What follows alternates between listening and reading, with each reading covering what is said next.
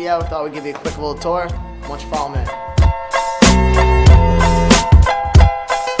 So this is this is the TV studio right now. I think we're actually filming live, so I'm gonna bring it down a little bit for this take. Why don't you come with me? I'll show you the TV studio real quick. This is the TV studio. They're doing a live show in here right now. I'm pretty sure they're shooting it for a class, maybe.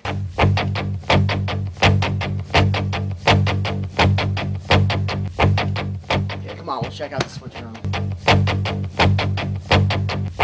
In three, two, one.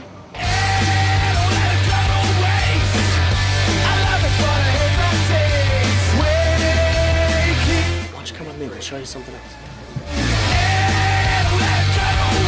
Alright, this is one of our editing suites in here. And here we got Scott and who's over here? Kathleen. Kathleen. Two stars in the TV studio right now. We're gonna uh, we're gonna continue our little tour. We're gonna go check out some of the other editing rooms. Come on this way, guys. We're gonna see what else we can find going on in here. Oh, whoa! What's up, Alex? How you doing? Dude, doing pretty good. say, say a little something to Rider right now. You're on TV. What's up, Rider? How you doing? Stay classy. All right. All right.